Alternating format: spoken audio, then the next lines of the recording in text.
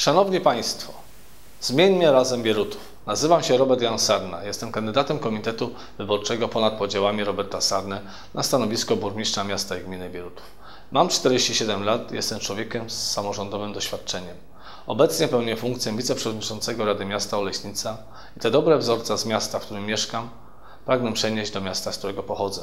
Jestem osobą z zewnątrz, bez żadnych powiązań, człowiekiem, który ma świeże spojrzenie na gminę Bierutów.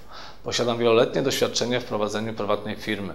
Posiadam wiedzę, co zrobić, aby odnieść sukces. Jeżeli, drodzy wyborcy, nie chcecie, aby miasto Bierutów było nadal najbardziej zadłużoną i zaniedbaną gminą, to powinniście pójść na wybory samorządowe 16 listopada i oddać głos dla najlepszego kandydata na burmistrza i do Rady Miasta, a są nimi kandydaci mojego komitetu.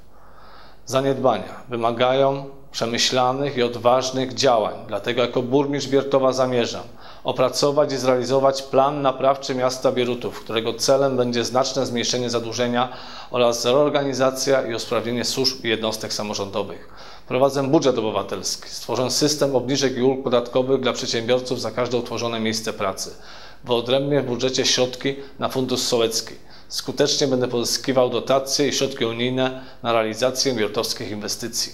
Wybuduję przedszkole z oddziałem żłobkowym oraz wprowadzę jednoznaczny i przejrzysty system naboru. Wybuduję świetlicę w Santoku i Szczałkowej. Zmieńmy razem Bierutów. mojaoleśnica.pl